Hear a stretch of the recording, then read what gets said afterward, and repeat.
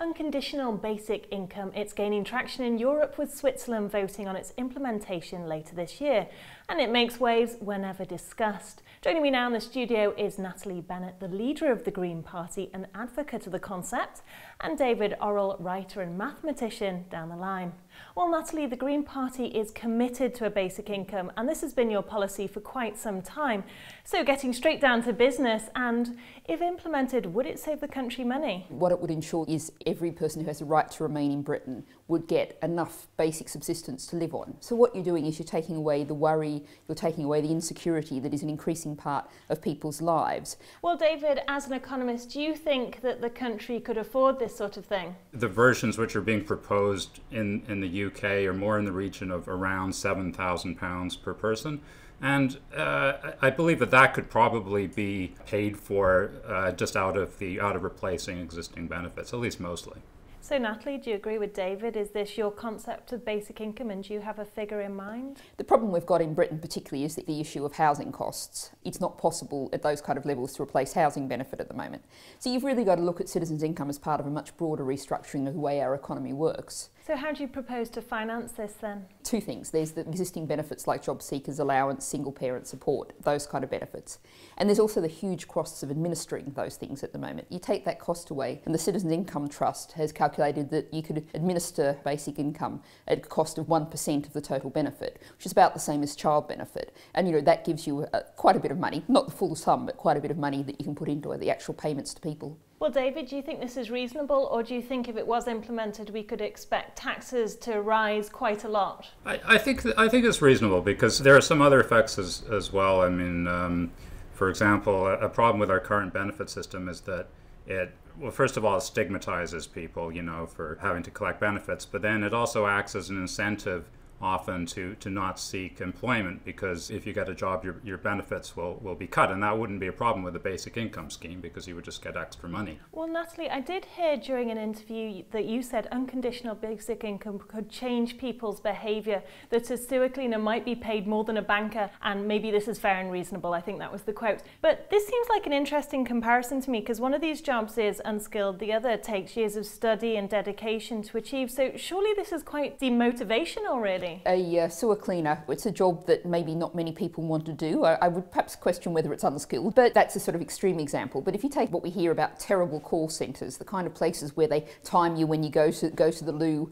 and you know every call has to be less than 54 seconds, and we've all been victims of those kind of call centres.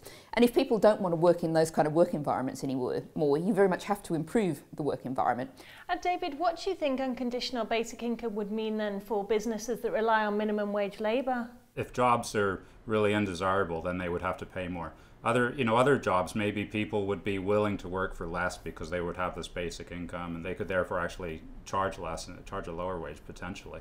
The biggest trends of the moment is that uh, large amounts of jobs are being automated, not just in car manufacturing and, and, things like that, but you know it's really accelerating a lot now. The, the price of uh, automation, robots, all this kind of thing is decreasing a lot. And so if you sort of look at the trends, there's going to be less and less of these super low skilled jobs in the future. And then then you have to ask, well, if people aren't doing that kind of work, I mean, first of all, how are you going to handle the unemployment? Under our current scheme, the unemployment benefits would, would go through the roof. You know, with something like this, I would think the, the impact would actually be be lower. Well, Natalie, I just want to bring you slightly back to minimum wage for a moment here. And do you think if unconditional basic income were implemented, then maybe large corporations might campaign to actually lower minimum wage? We need to make sure that if corporations aren't freeloading, I mean, the problem in Britain is our minimum wage is less than a living wage. You can work for 40 hours a week and not be paid enough money to basically live.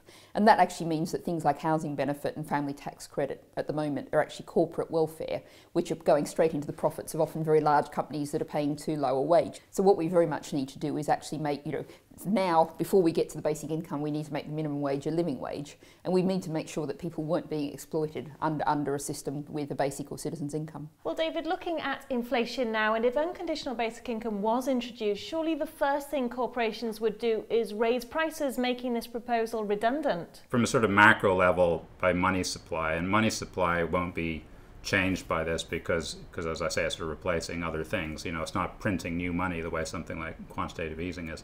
it would increase the velocity of money, if you like, the the, the, the speed at which money is changing hands.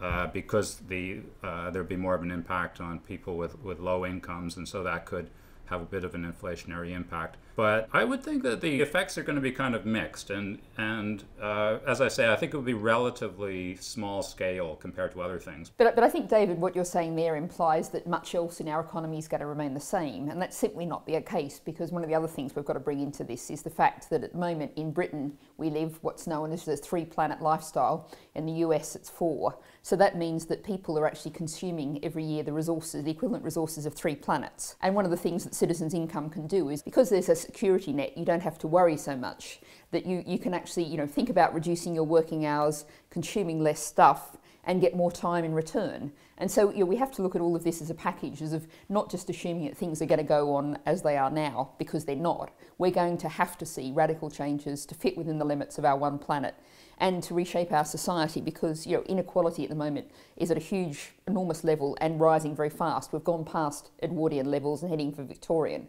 But do you think basic income could have any dent whatsoever on the wealth gap in real terms? It's a foundation, and I think we sort of got away from how we fund it. But you know, I think you do need to ensure that rich individuals and multinational corporations pay much more tax, and that has to happen you know anyway because we do have to deal with this work inequality, which even organisations like the IMF and World Bank say are threatening our, our whole global economy. Well, Natalie, my final question for you is: if unconditional basic income, there's such a strong case for it, then why haven't the three main political parties sort of got on board with this?